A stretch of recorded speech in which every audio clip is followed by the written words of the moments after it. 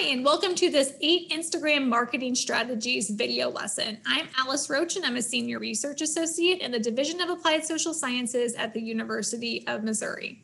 This video lesson is part of a project titled Marketing Opportunities for Missouri's Niche Meat and Poultry Processors. The project received funding from the Missouri Agricultural and Small Business Development Authority, and using that funding, a team at the university has developed information and resources that Missouri meat businesses can use to enhance their marketing efforts. This particular video lesson is a follow-up to an earlier presentation about Instagram marketing basics. And in this presentation, the goal is to share with you more specific Instagram marketing strategies and research-based best practices. So the first strategy that I want to share is finding ways to capitalize on the creator studio. When Instagram launched about a decade ago, it really focused on being a mobile first platform. So in other words, Instagram didn't really make a lot of options available to, it, to its users to allow them to access and manage their accounts on anything other than a mobile device. The Creator Studio provides some added flexibility in that you can access this tool from any browser. So you can easily access it from a desktop or a laptop. If you are a business that wants to formalize your communication process or you're managing a lot of content or you want to plan and schedule your content in advance, then the Creator Studio is a good tool as it's sometimes easier to perform those types of activities on a desktop or in a laptop relative to a mobile app.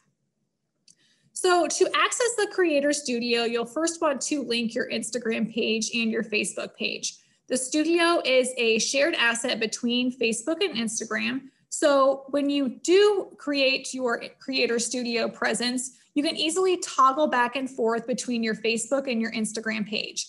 So right now we are looking at the Instagram view which will enable you to see the different capabilities that are provided within Creator Studio. You can see that we can create posts. If you click the drop down to the side of create posts, and you'll have an option to schedule posts. And you can also access your analytics data via this insights tab. So again, the benefit of the Creator Studio is that you can conduct some of these types of activities on a desktop or laptop rather than relying solely on your mobile app. The second research-based best practice that I want to share is choosing effective visuals. So not only did Instagram originate as a mobile first platform, but it's also focused on offering a visually appealing experience to its users. To determine the types of visuals that have tended to perform best on the platform, Social Insider and Bannersnack conducted some research after reviewing more than 22 million Instagram posts between January of 2017 and July of 2020. You can see a sampling of some of the research findings here on the screen. And I first want to look at the difference in average engagement rate for image and video posts. So for video posts, the engagement rate averaged 1.5%. And for image posts, the engagement rate averaged 1.7%. You can see here in the chart that carousels perform slightly better in terms of engagement. So if you're not familiar with a carousel, essentially what it is, is a post that has multiple multimedia elements. So the all carousel average was 1.9% for engagement. And you can see that the image only carousels and video only carousels perform somewhat similarly. According to these data, we see that we can maximize our engagement by mixing photos and video in a carousel for one particular post. So with those mixed carousels in this data, we can see that the engagement rate averaged 2.3%. So the takeaway here is that you might look for ways to combine photo and video in one particular mixed carousel post to maximize your own engagement. If the previous slide got you excited about thinking about ways in which you can use carousels in your Instagram marketing efforts, you might be wondering how many slides are appropriate or how many pieces of communication materials are appropriate to include in a particular Instagram carousel. And the data up on the screen help to give some insights into answering that question. So again, this was insights from Social Insider and Banner Snack. And what the analysis found from Social Insider and Banner Snack was that you tended to maximize engagement if you had eight, nine, or 10 slides in a given carousel. So if you have eight, nine, or 10 pieces of high quality content that would correspond with one particular post, then I would consider including that many pieces of multimedia content in a given post to see whether you can also capture higher engagement for your Instagram content. So I hope I've really stressed how important it is to find strong visual elements as part of your Instagram posts, but I also don't want to overlook the role of captions in your Instagram content. Captions can play an important role in explaining what users see in a particular visual that corresponds with a post. Additionally, the captions can play a role in helping to communicate the information that you'd like to share. So within an Instagram caption, you can include as many as 2,200 characters, but the best practice research suggests that shorter captions tend to work best. So ideally shoot for about 138 to 150 characters. Not only do you need to keep your Instagram captions succinct, but it's also really important that you cover the most important details first. That's because in a particular Instagram feed, Instagram will limit the amount of a caption that a user sees to two, three, or four lines. So the example up on the screen illustrates this point. So for any Instagram caption content that extends past that two, three, or four line limit, uh, you have to click more in order to see that content. So if a user doesn't click or tap on more, then that user is not going to be able to absorb the information that's shared in that caption. So sharing information up front in a caption is really important. Another good practice whenever you're developing Instagram captions is to feature a call to action. The call to action is really important because that makes it clear to your users about what you want them to do after they consume a particular piece of content. So one type of call to action might be posing a question, as this example has done.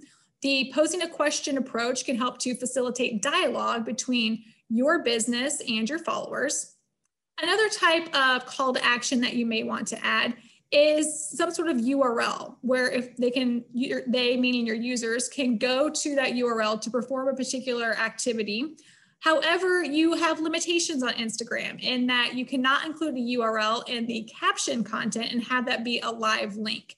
Instead, you'll need to include that live link in your bio. And then in your caption, you can include instructions about accessing the particular URL in the bio.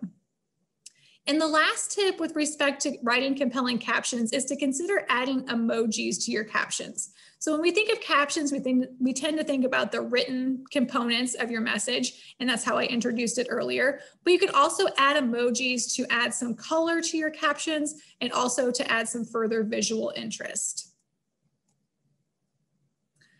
The next research-based best practice that I want to share is using tags wisely. And there are three types of tags that I want to highlight. The first of those would be hashtags. A hashtag is a word or phrase that's preceded with a pound sign. There could be no spaces in a hashtag. So close any space between the pound sign and the first word or the only word of your hashtag. And then you also want to close any spaces between words that you want to convert into a hashtag phrase. There are four different categories of hashtags that I want to introduce to you, and those are niche, seasonal, location, and branded. Niche hashtags are those that are specific to products or services that you're offering. So let's give a scenario here and try to brainstorm some hashtags that would be relevant to that scenario. Let's just say that you are operating a retail meat counter in the Kansas City metropolitan area and you have a goal to sell steaks for New Year's Eve celebrations that are being celebrated at home this year. So, some niche hashtags that might apply here would be steak, steak lover, and steak dinner. All three of those would pertain to the particular product that you're marketing in that Instagram post. The second category of hashtags would be seasonal hashtags. So those can relate to a specific holiday, observance, or other time of the year when people tend to do a certain activity. Uh, seasonal hashtags in our example might pertain to New Year's Eve or New Year's because that's the time of the year when we're celebrating and we're wanting to promote our products to correspond with that time of the year. I also want to point out the data on the screen as, it, as that data relates to the seasonal hashtags. The data you see on the screen are the top 10 hashtags used by food and beverage companies in 2019. So these data were collected from Rival IQ, and what Rival IQ did was it looked at hashtags used in Instagram posts by 150 different food and beverage companies that each had at least 1,000 Instagram followers. So you can see that of the top 10 hashtags listed, three of those had some sort of seasonal connection. So we see Easter, Earth Day, and Valentine's Day listed as number six, seven, and eight, respectively. So food and beverage companies do tend to use seasonal hashtags in their content. Location hashtags help to connect your content to a particular geographic area. So in our example from earlier, because we're operating a retail meat counter in Kansas City, Missouri, we might consider adding hashtags like Kansas City, Kansas City Mo, KC Mo to connect our content with the particular geographic area that we're serving. And the last type of hashtag that I wanted to explain would be a branded hashtag. A branded hashtag should be specific to your business. So we oftentimes see branded hashtags be the name of a business or a tagline that the business uses. With your branded hashtags, you want to ensure that you're the only company using those hashtags. So do your research in advance to ensure that no other business is already using the particular hashtag. If there are other businesses using that hashtag, it can become confusing if your users are clicking on what they think is a branded hashtag and then they're running across content from other businesses. In addition to making your branded hashtags unique, you'll also want to make them memorable so that when users see that hashtag, they automatically think of your business. And you'll also want to keep them relatively short. So shoot for about 10 to 20 characters. When you are brainstorming hashtags to use with your content, it's important to do some research in advance so you develop the best set of hashtags for your given content. And there are several different resources available to help you do that research. And the first would be to just use your Instagram app. So when you open your Instagram app, you have an option to search, and then you can narrow your search to tags and then include a word that pertains to the particular post that you're writing. So in this case, let's assume that we're writing a barbecue post. So we search for barbecue, and then what the Instagram app does is suggests other hashtags to use in our barbecue post. So here we can see that we have barbecue, barbecue time, barbecue sauce, barbecue chicken, barbecue ribs. All of those would be hashtag options to consider. In addition to sharing these options, the Instagram platform also provides a metric underneath each of those hashtags. So you can see the number of times that that hashtag was used in different posts. So you can see that the barbecue hashtag was used 4.3 million times. Uh, barbecue chicken was a little more obscure. It was used 35,000 times. Barbecue ribs was used less frequently, 17,000 times um, in, in posts. So this may beg the question in your mind about whether or not you should use popular hashtags that tend to be frequently used or less popular hashtags. And really it's a best practice if you use a mix of both. There are a few other resources that are available to help you brainstorm ideas for hashtags, and these are called hashtag generators. One option would be meta hashtags. So with this website, you enter in a possible hashtag, you click generate hashtags, and then the site will help you to brainstorm other options. And the second service that I wanted to mention would be Photerloo. So Photo, works a little differently in that you upload a photo and then after you upload that photo, the site will help you to brainstorm some potential hashtags that might correspond well with that particular image. In a particular Instagram post, you can include as many as 30 hashtags. However, the best practice research suggests that you don't overdo it. So ideally look for about maybe two to three hashtags in each of the categories that I mentioned earlier. If you do have a need to include a large number of hashtags and you think that those hashtags make the post look somewhat cluttered, there are different ways that you can somewhat hide those hashtags to make them less obtrusive. Um, the first strategy is highlighted here in this Perdue chicken example that you see up on the screen. So what Perdue Chicken has done with this post is that it started the caption with some text to explain what you see in the image. And then it's also um, asking you to visit the link in the bio. But then it separated that first part of the caption from the hashtags with a series of three lines that have one period per line. So that separation can make the post a little easier to read. Another strategy to hide those hashtags would be to post your content and then add a comment to the post with the hashtags copy and pasted into that comment. If you follow that route, you'll want to add the comment and the relevant hashtags immediately after the post goes online. Because when you're looking at a series of search results for hashtags, the posts are organized with the most recently posted post in the first position of those search results. If you've not yet used the hashtags or added the hashtags in a comment, then you won't have the opportunity to really benefit from that top search position. It's important when you are brainstorming hashtags to vary the hashtags that you use in each post. If Instagram sees that you're using the same 15 hashtags in every post, then the Instagram algorithm will uh, basically penalize your posts. So you'll want to really narrow the hashtags that you're using to the particular content that you're sharing. And then the last tip about using hashtags wisely would be to capitalize the first letter of words. If you have a long string of words in a phrase hashtag, it can be very hard to read those those words and to pick out what the phrase is intent what you're intending the phrase to say. And so by capitalizing the first letter of each word, that can improve readability. The second type of tag that I wanted to mention would be tagging other businesses. And this is a great opportunity if you collaborate or partner with other local businesses. For instance, if you operate a retail storefront and you're stocking products from other local businesses, then you can call them out, like this example up on the screen does, to help build awareness of their business.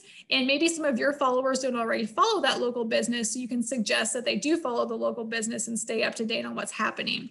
By doing that, tagging the other businesses, you have an opportunity for those other businesses to possibly return the favor, which may introduce your account on Instagram to other individuals who might be interested in your brand and your business, but aren't already following you on Instagram. The third type of tag that I wanted to highlight would be shopping tags. So shopping tags are an option if you've set up Instagram shopping and you have some sort of product catalog created. So I'll show you through a series of visuals here about how the shopping tags work and why they're such a nice feature. When you see a post with a shopping tag, you'll notice this little shopping bag in the lower left-hand corner.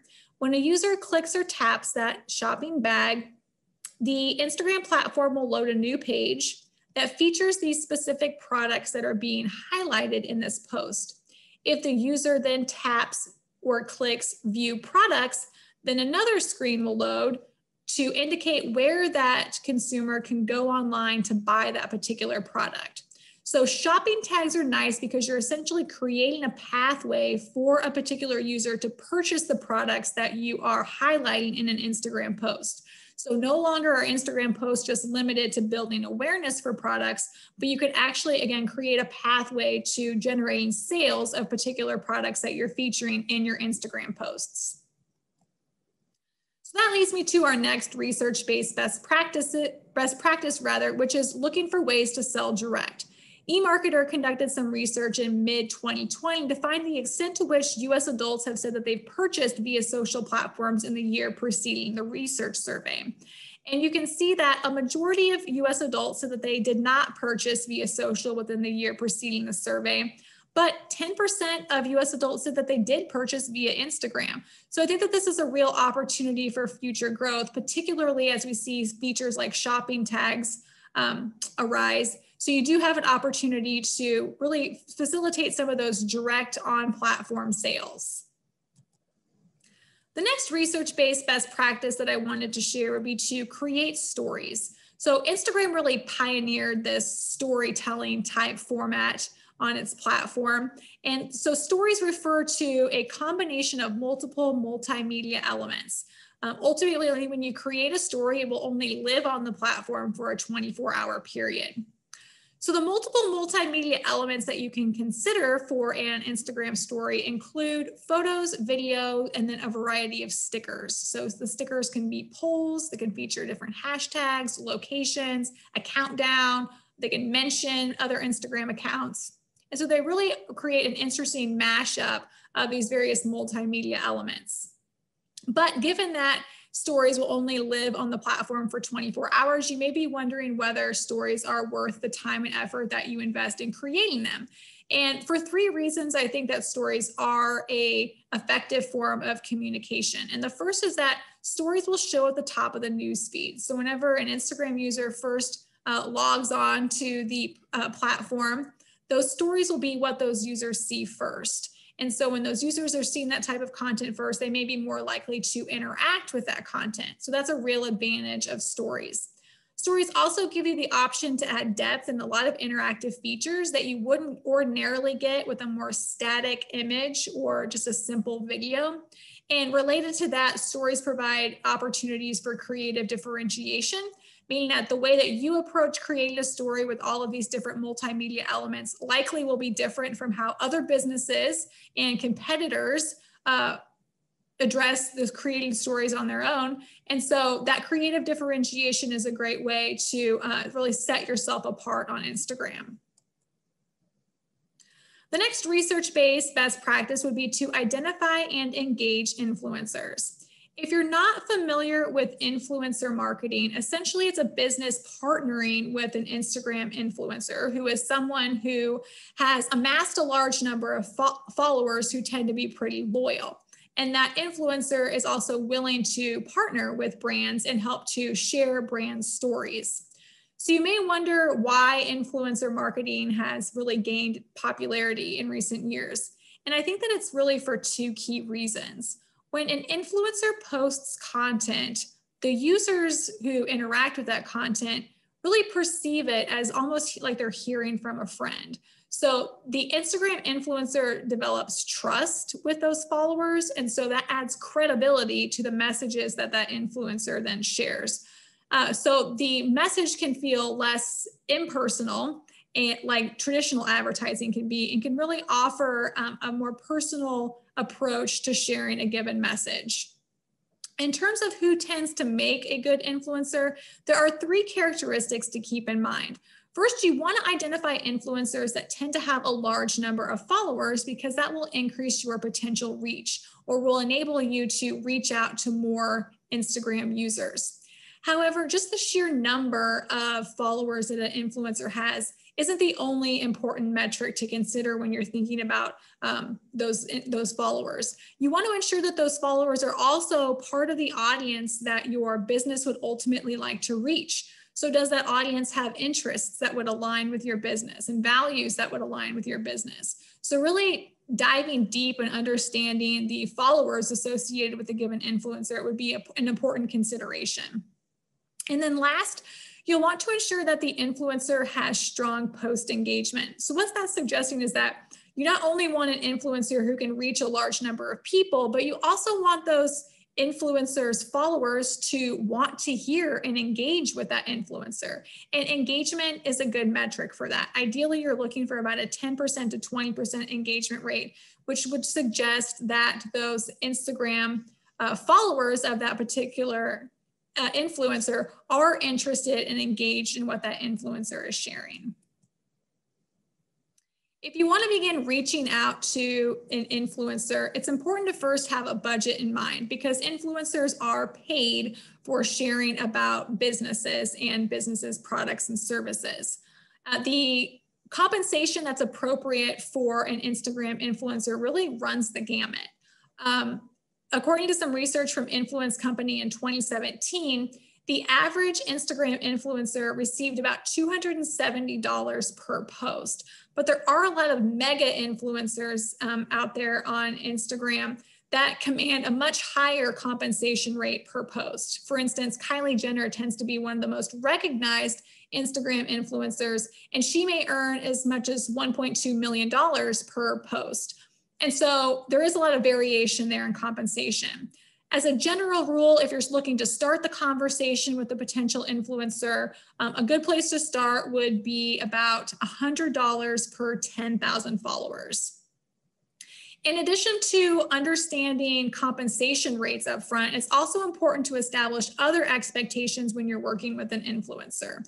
So those other expectations may pertain to what time of day or day of the week you want the influencer to post, the types of key messages that the influencer should include or other mandatories like hashtags that you want the influencer to include. Um, it's additionally important to understand when you're engaging with an influencer that you need to follow all FTC regulatory guidelines. So the FTC requires that you disclose brand relationships. And so in the influencer's post, the content needs to be very upfront about that being a sponsored post or being a promoted post. Um, that there's there's financing behind that post essentially. So you'll want to be upfront about sharing about that brand relationship. um, you, to be upfront, you can share things like ad or sponsored content at the beginning of a post. If you have multimedia elements like video or Instagram stories that are part of the post, you'll want to ensure that you also add that disclosure information to those multimedia elements so it's very clear that that particular user that influencer rather has received compensation for um, creating that content and posting that content. So being consistent and sharing that that post or those posts are promoted is really important. So users can get to know how those disclosures are made and they can easily recognize them. So you'll want to disclose any kind of brand relationship. So that includes whenever you pay a influencer to provide a certain post uh, and that payment not only includes cash payments, but also would include offers, discounts, free product, and so forth. And the last tip with respect to identifying engaging influencers would be to find a way to track performance. So you are investing funds into influencer marketing. Uh, and so you'll want to ensure that you're able to measure the return on that investment. And there are a couple of different ways that you can do that.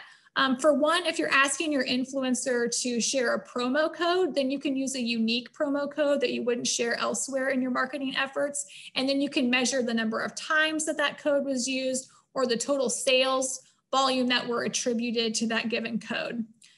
You can also ask that the influencer share a given URL by including that URL in his or her bio.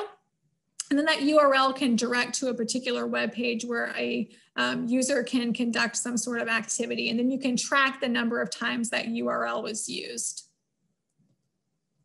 And then the last research-based best practice would be to refer to your analytics. So this is really important because uh, in this presentation, I've shared a lot of general best practices that tend to apply um, to an average of Instagram pages or Instagram users but your audience will be unique. And so your analytics data really provides you a chance to get an in-depth look about your audience and that audience's behaviors and preferences. And ultimately, you can use that information to adjust the approach that you take on Instagram. You can access your analytics in a couple of different formats. So earlier I mentioned how the Creator Studio enables you to access analytics, and you can also access those analytics from your Instagram mobile app. So I'll show you first how to access your analytics on the app. And on the app, you have two opportunities to access two different types of Instagram analytics. And the first is that you can access your analytics on a post by post basis. So if you're interested in a particular post analytics, you can go to that post and then be below the visual element, you'll see a view insights link. If you click that, then you'll be directed to a screen where you see a variety of post insights which can share just how, how well that one particular post performed. If you're looking for more general data about your account, then you can go to your profile page, click the hamburger icon in the upper right-hand corner. So the hamburger icon is that icon with the three horizontal lines. When you click it, you'll then be able to choose insights. From there, you can see an overview of your account for a particular time period. And then you can drill a little deeper into seeing how your posts have performed, your content has performed during a given time.